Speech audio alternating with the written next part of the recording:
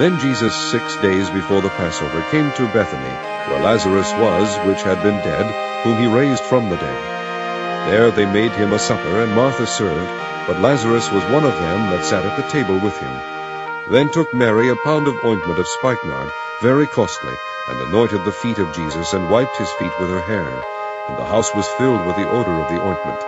Then saith one of his disciples, Judas Iscariot, Simon's son, which should betray him, Why was not this ointment sold for three hundred pence, and given to the poor?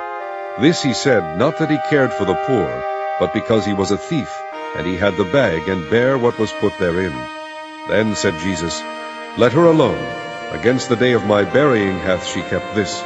For the poor always ye have with you, but me ye have not always. Much people of the Jews therefore knew that he was there, and they came not for Jesus' sake only, but that they might see Lazarus also, whom he had raised from the dead. But the chief priest consulted that they might put Lazarus also to death, because that by reason of him many of the Jews went away and believed on Jesus. On the next day much people that were come to the feast, when they heard that Jesus was coming to Jerusalem, took branches of palm trees, and went forth to meet him, and cried, Hosanna! Blessed is the King of Israel that cometh in the name of the Lord. And Jesus, when he had found a young ass, sat thereon, as it is written, Fear not, daughter of Zion, behold, thy king cometh, sitting on an ass's colt. These things understood not his disciples at the first. But when Jesus was glorified, then remembered they that these things were written of him, that they had done these things unto him The people therefore that was with him, when he called Lazarus out of his grave, and raised him from the dead, bear record. For this cause the people also met him, for that they heard that he had done this miracle. The Pharisees therefore said among themselves, Perceive ye how ye prevail nothing? Behold, the world is gone after him. And there were certain Greeks among them that came up to worship at the feast.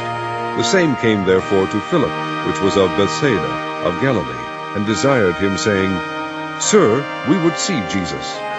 Philip cometh and telleth Andrew, and again Andrew and Philip tell Jesus. And Jesus answered them, saying, The hour is come that the Son of Man should be glorified.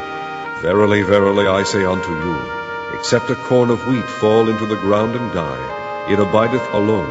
But if it die, it bringeth forth much fruit. He that loveth his life shall lose it, and he that hateth his life in this world shall keep it unto life eternal. If any man serve me, let him follow me. Where I am, there shall also my servant be. If any man serve me, him will my Father honor. Now is my soul troubled, and what shall I say? Father, save me from this hour. For this cause came I unto this hour. Father, glorify thy name. Then came there a voice from heaven, saying, I have both glorified it, and will glorify it again. The people therefore that stood by and heard it, said that it thundered. Others said, An angel spake to him. Jesus answered and said, This voice came not because of me, but for your sakes. Now is the judgment of this world. Now shall the prince of this world be cast out. And I, if I be lifted up from the earth, will draw all men unto me. This he said, signifying what death he should die. The people answered him, We have heard out of the law that Christ abideth for ever. And how sayest thou, the Son of Man must be lifted up? Who is this Son of Man? Then Jesus said unto them, Yet a little while is the light with you. Walk while ye have the light, lest darkness come upon you. For he that walketh in darkness knoweth not whither he goeth. While ye have light, believe in the light, that ye may be the children of light. These things spake Jesus, and departed, and did hide himself from them.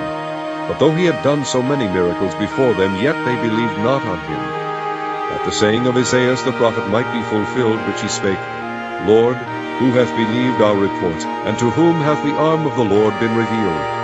Therefore they could not believe, because that Esaias said again, He hath blinded their eyes and hardened their heart, that they should not see with their eyes, nor understand with their heart, and be converted, and I should heal them. These things said Esaias, when he saw his glory, and spake of him.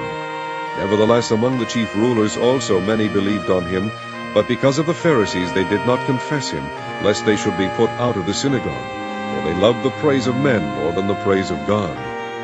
Jesus cried and said, He that believeth on me believeth not on me, but on him that sent me. And he that seeth me seeth him that sent me. I am come a light into the world, that whosoever believeth on me should not abide in darkness. And if any man hear my words, and believe not, I judge him not. For I came not to judge the world, but to save the world. He that rejecteth me, and receiveth not my words, hath one that judgeth him. The word that I have spoken, the same shall judge him in the last day. I have not spoken of myself, but the Father which sent me, he gave me a commandment, what I should say, and what I should speak.